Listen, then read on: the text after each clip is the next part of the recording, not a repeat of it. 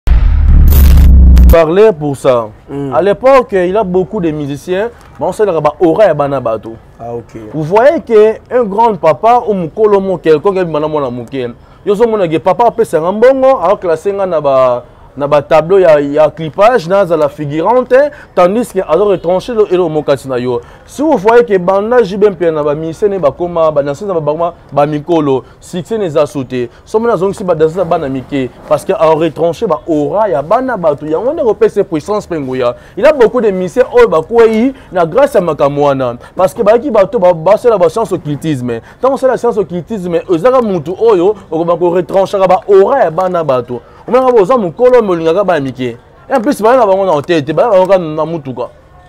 Ah, basalaka na motuka basalaka na motuka yango moneke jibe mpe nakweya makambo nyonso oyo bazoloba wana la réalité et la sincérité eza oyo naza kobimisa bien si abota na mwana wana abotani te na mama oyo azalaki mineur mais azalaki na mama oyo ke mwana bato azalaki na age ya puberité te ye nde moto abandi kobima ne liboso seke retrancha baora ya bato yango oyo ye autilisaka na acouronnement na ye ntango azwaki bacouronne ye ke akomi le prince ya mboka na bango kuna mm. itoki ezalaki ezalaki basigne symbolique oyo bapesaki eke no zala na eloko oyo yango ekokamba yo mpe ekosalisa yo siko ngai naza na formule oyo ya sikaeza na itokia siko tous les musiciens baoyo bazalaki na bajeune leader mm. baza na mposa ke basala succès oyo fali pupasadi ne bato bainterpretaka non aza soki boye yo ndenge nini non eza bongo te ye vraiment aza awa na kati ya etoki etoki ya moto esimbaka ye or oh, mpe aza na concert libanda ya mboka lokola boye ferre gola aproduit concert nde na adidas arena ndenge aza bongo falisi abeti deja baconcert ba libanda ya mboka fo aya sikoyo na servir ya etoki ya epesi ye popularité plein mpo kuna na poto bato bakufaka te nyonso ezalaka na kati ya liboke réunion ezalaka boza en secret eza liboke mpona mm. makambo esimba comme table ronde esalamaka fo bozala bino nyonso ensemble mm. etoki eza pouvoir oyo epesaka succès et la prospérité et la protection eza pouvoir oyo kote ya miziki esimbaka makasi Mm -hmm. parce que mabele lise aclipa yango mpamba te na clip na ye ntango azalaki nango à l'époque mabele lise côté ya coutume vraiment traditionnellement na banzembo mobeta itoki ane moto mopesa impact ntoki epesaka puissance et la grandeur ya musique ino mpona ekele liboso ntango namoni bandeko na biso ebele ya bamusicien congolais na bamusicien chrétien baza na banzembo baza kobimisa mpe baza na baalbum baobimisa ezobeta te or que tandis que na travers na ngai na na capacité ya kosunga bino napesi yo pouvoir ya etokia etokia ekosalela yo na ndako na yo tandis que ntango ozo clipe na moment oyo mpe oza na studio ndenge oza na itokia ozobelela ye mpe osenga nkombo na ye ozo kosengela liboso ya itokia itokia kopesa puissance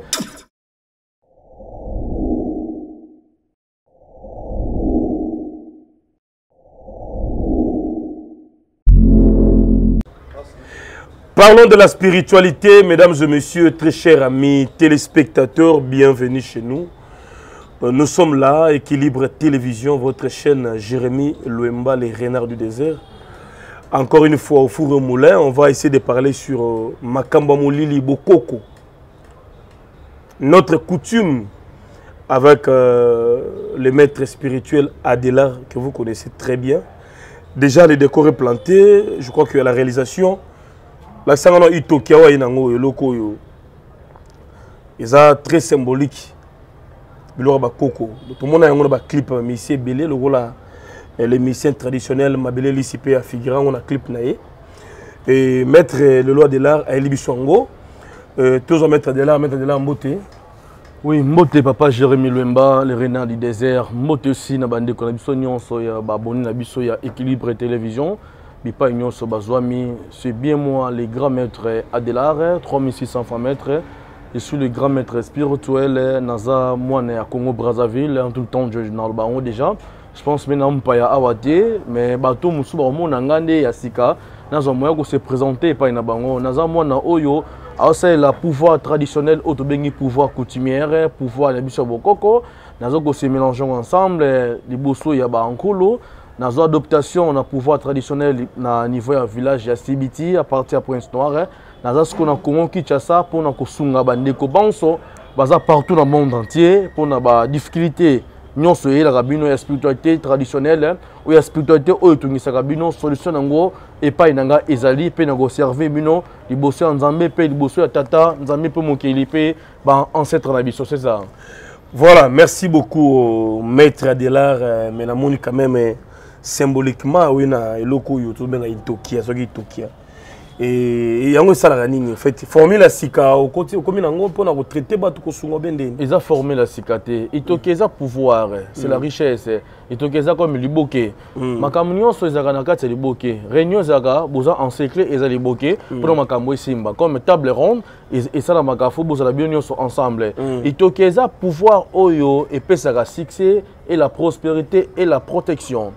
eza pouvoir oyo kote ya miziki esimbaka makasi Mm -hmm. parce que mabele lise aclipa yango mpamba te na clip na ye ntango azalaki nango à l'époque mabele lise côté ya coutume vraiment traditionnellement na banzembo mobeta itoki ya nde moto mopesa impact intoki epesaka puissance et la grandeur ya musique ino mpona ekele liboso ntango namoni bandeko na biso ebele ya bamusicien congolais na bamusicien chrétien baza na banzembo baza kobimisa mpe baza na baalbum baobimisa ezobeta te or que tandis que na travers na ngai na na capacité ya kosunga bino napesi yo pouvoir ya etokia etokia ekosalela yo na ndako na yo tandis que ntango ozo clipe na moment oyo mpe oza na studio ndenge oza na itokia ozobelela ye mpe osenga nkombo na ye ozo kosengela liboso ya itokia itokia kopesa puissance mpe bato ebele oyo bazali na libanda ya mboka makambo ezo kotungisa bango ya spiritualité itokia ezaka mpo na ka miziki te mpe na bapuissance mpe mpo na pinch kaka te meme kote ya babolingo ya bato meme kote ya bafinancement toza na makoki ya kosenga liboso ya itokia parce que eza pouvoir mpe nguya ya monde entier oyo eza traditionnellement na biso moko mais mingi mingi eza pouvoir ya bangala ah, euti na baequateur euti na baequateur na kasi euti inongo hmm. euti na kati vraiment eza pouvoir oyo mabele lisa bana kosalela ya mona mpe fali mpo pasilaka te parce que aza na etokia oyo ye autilisaka na acouronnement na ye ntango azwaki bacouronne ye ke akomi le prince ya mboka na bango kuna hmm. itoki ezalaki ezalaki basigne symbolique oyo bapesaki eke no zala na eloko yango ekokamba o mpe ekosalisa o siko ngai naza na formule oyo ya sikaforce ya fali mpe eza na itoki eza na itoki siko tous les musiciens baoyo baza kena bajeune leader hmm. baza na mposa ke basala succès oyo fali pupa sadi ne bato bainterpretaka non aza soki boye o ndenge nini non eza bongo te ye vraiment aza awa na kati ya itoki ya itoki ya moto esimbaka ye oyo oh, mpe aza na concert libanda ya mboka lokola boye Ferre Gola a produit concert na Adidas Arena. ndenge aza bongo falisi abeti deja baconcert libanda ya mboka fo aya sikoyo na servir etokia epesa popularité plein mpo kuna na poto bato bakufaka te sécurité bien assiré siko fo ozala na pinch ata popularité ekezaki babi te sodat esalami ya babiye bien sûr mais so na pinch te bato babima foza sikoyo na pinche molili mpe ekotaka baconseil mais concert nyonso musique nyonso ezala chrétienne baconcert nyonso esalamaka una baévénement nyonso lokola boye événement mpe eza ya makasi ya ferregola à part ya ferregola anse luzolo mpe aza na événement ya makasi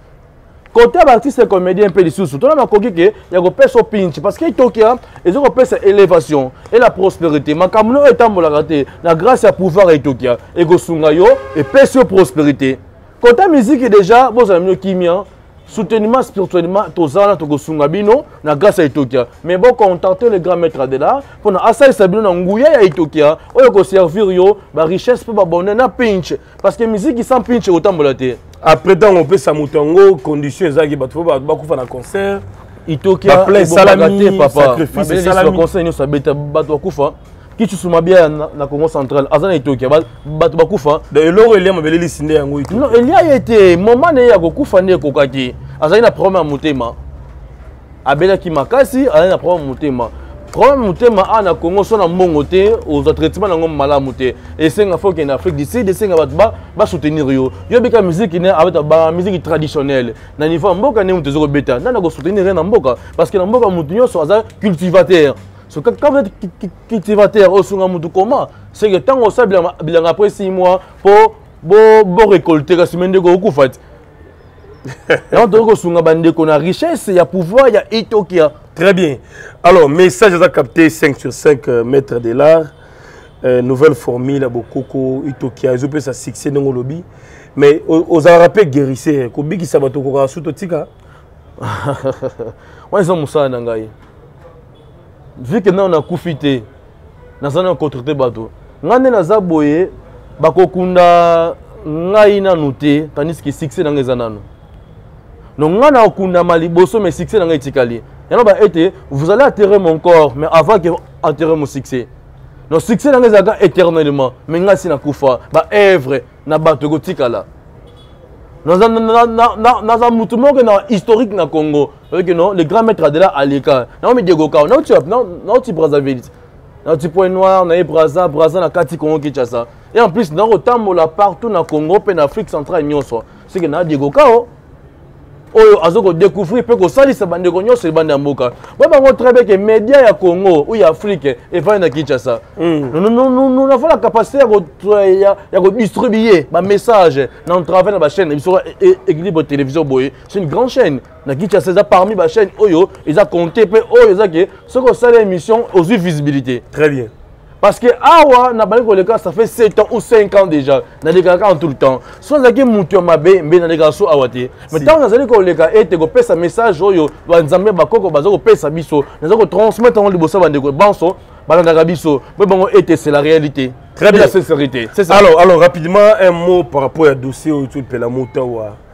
bamilise bango moko viole bana misapi kotia nde mona bapastere bolinga baminere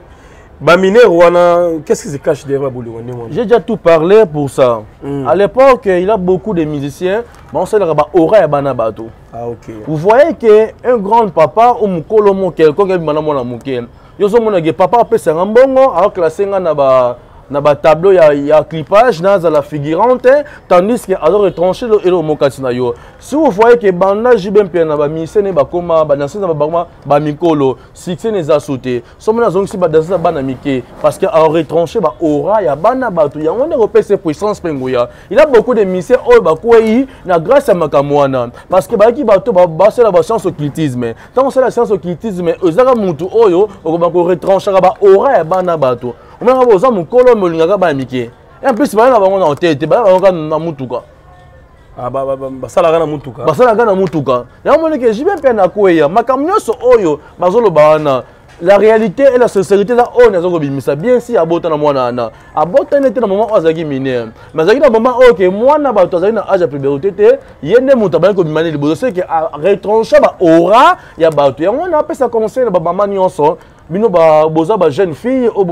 bobali kobota sika bozala bosala tension na bana na bino parce qu'il a beaucoup de gens bakodétruire avenir ya bana bakodétruire avenir ya, ya nation ou ya congo mobimba na travail ya makambo oke koretranche baora ya bana bato ndenge aza bongo mwana na eloko ebimisi na télévision parce que abotaki se plusieurs année amoni ke makambo ne marché esusu te ntango makambo ezo marché te fo aya sikoyo na télévision bato bacomprendre ke yo nde moto obotianga ozosokipe na ngai te ntango osokipe na ngai tata bope makambo nanga etambola te azala encolere en travers na yo parce que yo nde motu oretranche ora na ye ora ntango baretranche yango chance ediminaka makambo mpe etambola su te osala commerce boteka nefisi de nguba omaka lobi na ntongo banguba nyonso etekama te oteka bamanga osomi bamanga bona libongo oya nango bamanga nyonso epoyombo blocage ya makambo nyonso ça vous demande mwana nsuka koleka so na télévision te artiste aza artiste na biso oyo jesi asala ja epai na yo yeba yango ke ya kosalisa purification ntango omoniki makambo etambola te mwana esi abotamaki ata bamemio na poto lelo odeklare poto ata oke poto sachele mie ke poto mpe bato baosouffrir bazali si jamais jamais que maman oke poto omoni paradis omoni bonheur une fois pour toutes non c'est pas ça bachroniqueur ebele bake poto mais yo vivre mieux plus que bango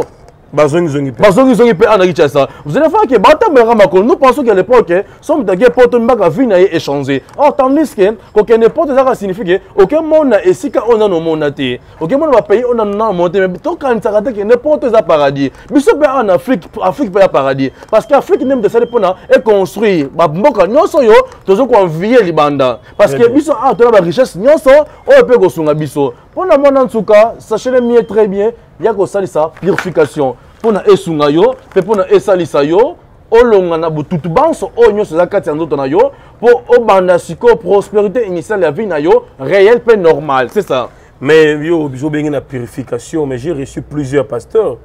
baosenga na mwana nsuka ozwa délivrance consultation d'abord prophétique et puis délivrance mina ba purification otumbi ya bougie en fait ye mona naza na difficulté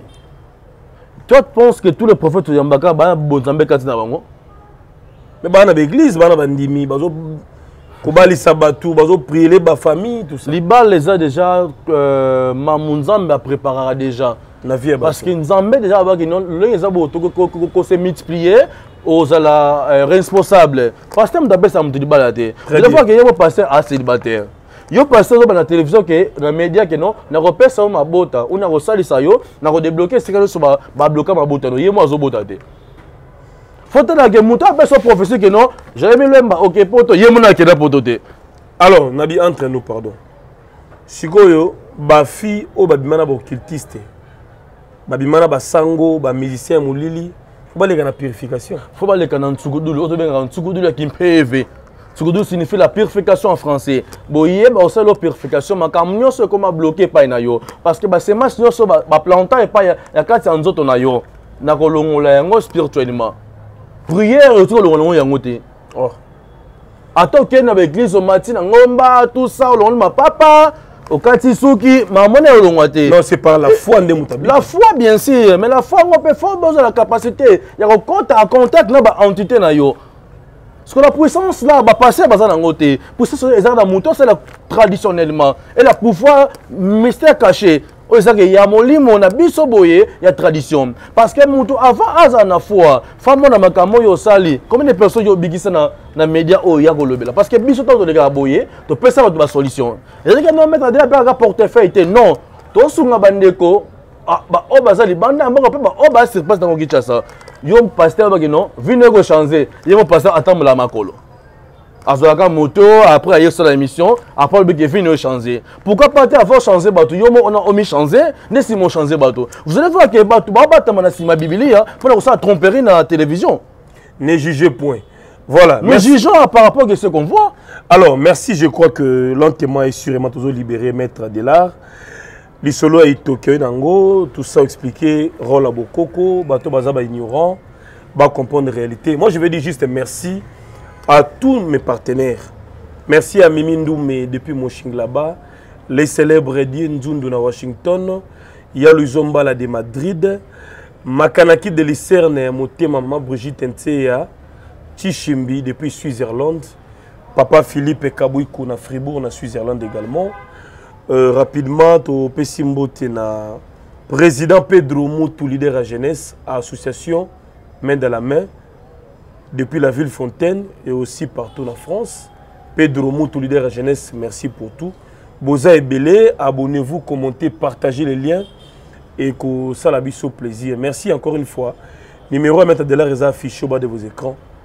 parfois oza na idée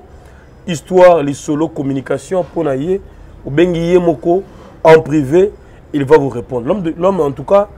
ochite hein? au clôturer mission. Ok, merci pour le temps et l'espace sur bopesi ngai na moment au nyonso. Très bien. Parce que naza elongi ya sika te, na sungaka mm. bandeko banso. Mm. Bino bokoti ya sika ya kolanda ngai sika sikoyo, mm. boye bango ete mettre de là à traiter tout le maladie spirituelle, à pesa pe ba solution spirituelle. ya makambo nyonso etungiso meme tous les problèmes financiers oza nango na grâce ya barichesse et la pouvoir traditionnel oyo na hérita mpe oyo nazwa na grandeur ya bakoko na biso na kosalisa yo mpe na kosunga yo dossier moko te oza nango oyo na kolembela kosala lobaki okufi wana ezaka ye moko nzambe nde moto alamusaka moto akufi mais dès que je suis là na kosalisa yo mpe na kosunga yo na kodebloke bisika nyonso makambo no oyo ekoma bloke ya kosalisa consultation spirituelle epai ya grand maître adela mpo na grand maître adela asalisa yo mpe mpo na sunga yo aza na besoin kocontacte maître adela ocontacte nga a plus 243 89 880 23 39 plus 243 89 880 23 39 nayebi ke mizwa ya mosala na ye akozwa akoaffichele bino numero ya maître adela mpo na asalisa bino mpe mpo na asunga bino na maye manso oyo eyali kotungisa bino merci na équipe technique nyonso merci soki na baboyi nyonso bolanda biso bisika nyonso bozwami nzambe ya bakoko aza na bino matondo kwa yeno mbote bandeko eza nga mama mika na ye lisusu na traitement naturel mpo na bamaladi incurable et chronique tozotraite maladi oyo ezali miome kiste stérilité nerf sciatique hémorroïde faiblesse sexuelle éjaculation précoce diabète oyo eza sucre tension oza na, na tension hyper to hypo tozosoigne yango très bien oza na problème ya hernie yaka solution ezali epa mama mika baproduit na biso ezali très efficace epuis toza na batémoignage ebele yo motu nerf sciatique etungisi yo longtemps en tout cas ndeko nanga kohésite te yaka na lombangu solution ezali ya bien okozwa ba cure ya kitoko mpe okosepela mama papa oza na problème ya sterilité erumeli zongisa esengo na libala na yo yaka mbango epa mama mika kose décourage te solution ezali ya malamu mpe rapide kote cosmétique natiki bino te bandeko na nga tozosoigne problème ya nduta tampon cancer de peau graisse bouton toza na bamafuta oyo ezali crème réparatrice mpo na tampon toza na te métis mpo na bato ya pembe ndeko na ngai yo motu pembe na yo ebebi eza ya kogate kima mbango epa mika cosmétique baproduit na biso ezali naturel sans hydroquinol alors tozali na crème de beauté mika normal mpo na bato ya mwindu na bato ya chocolat toza na gommage pona ba bouton toza na lotion tonique pona bato ya ba graisse solution ezali ya lombangu yo moto oza na problème ya suki libanzi esala yo suki ekatanaka katanaka ndeko yaka mbangu toza na pomade ya suki na huile ya suki tozali na Euh, savon noir na biso mpona bato bala problème ya baallergie mikusa en tout cas savon noir eza très efficace ekotia bino à l'aise na douche toza na huile d'anana mpona bato baza na peau sèche Ndeko kima mbangu e, awa tozali na pomade anti-sola mapeka. Yo moto osalaka misala maboko, okendaka classe, okendaka caillou, benga biso na plus 243 89 98 27 674. Adresse na biso ezali komi na Kalamu, quartier Matonge, avenue Pozo numero A17. Boya mbangu, bye!